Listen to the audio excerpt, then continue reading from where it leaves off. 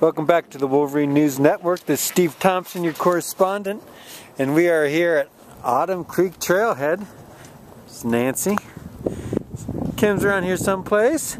Look at this fine conditions. This lovely day at the end of January 2013. We're so pleased you could join us here. Any Happy comments? New Year. Happy New Year. There's Kim. Okay, people, we're about to hit Autumn Creek Trail. We'll see you later.